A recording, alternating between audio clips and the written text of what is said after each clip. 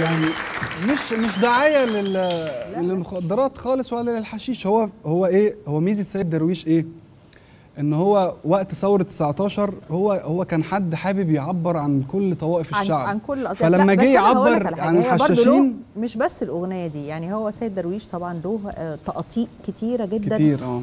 لازم لما نتفرج على التراث نبقى فاهمين آه. هو هو اتعمل في أي سياق بالظبط هي في نهاية الأغنية بيقول في الآخر بقى يقول الناس فايقين بقى بس آه. بعد ما خلص الجوزة وأقول كلها لك يلا. الحق يوم ما نلقى بلادنا طبت في أي زنقة آه. يحرم علينا شربك يا جوزة روحي وأنت طالعه الآخر مالكيش هو بقى جوزة. دي- بيظبط دي مصر. عايزة جماعة فايقين يعني آه طيب